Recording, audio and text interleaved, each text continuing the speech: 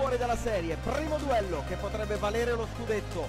Gara 2 di finale per la Serie A1 femminile. Tutto si sposta in Campania, a Salerno, dove la Iomi, padrona di casa, riceve l'Aci Lifestyle Erice. È iniziata dunque gara 2 di finale scudetto della Serie A1 femminile.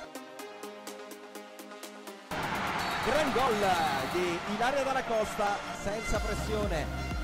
Il tiro dalla distanza, la rete di pregevole fattura di Oko. La palla larga intanto per Eko che trova spazio per incurearsi e colpire sul secondo palo nuovamente dalla costa. Lo scarico largo, buono il ritmo del passaggio ed il gol di Laurenti Matos. Palla recuperata da Salerno, Paiciova può correre con il piede destro.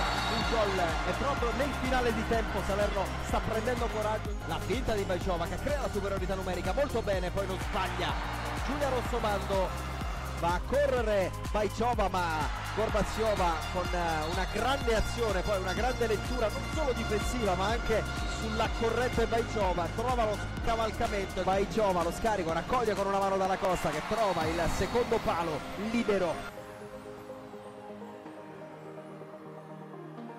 Tentativo di passaggio rischiosissimo, attenzione adesso perché c'è la porta vuota, rientra in qualche modo Pereira, attenzione a Pugliara in tiro ed il gol del pari, il gol del pari su questo attacco sbagliato da Salerno e poi Erice, il tentativo ed il gol di Ramona Manojlovic, l'intuizione si rifà dopo l'errore pesantissimo dell'azione precedente. Il tiro di Soroshuk Tara Pereira che la tiene lì e non c'è più tempo adesso non c'è più tempo finisce 24-23 si va a gara 3 serviranno altri 60 minuti servirà un'altra partita per assegnare il 53 scudetto della Serie 1 femminile. Salerno ha battuto Erice 24-23 al Palapalumbo